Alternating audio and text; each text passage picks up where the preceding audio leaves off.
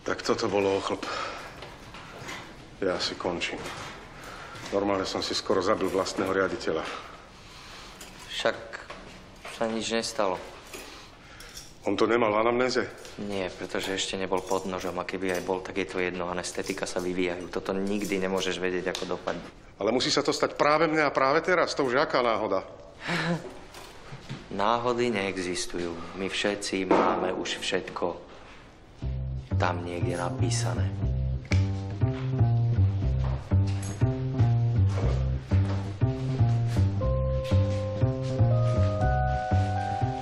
Fúha.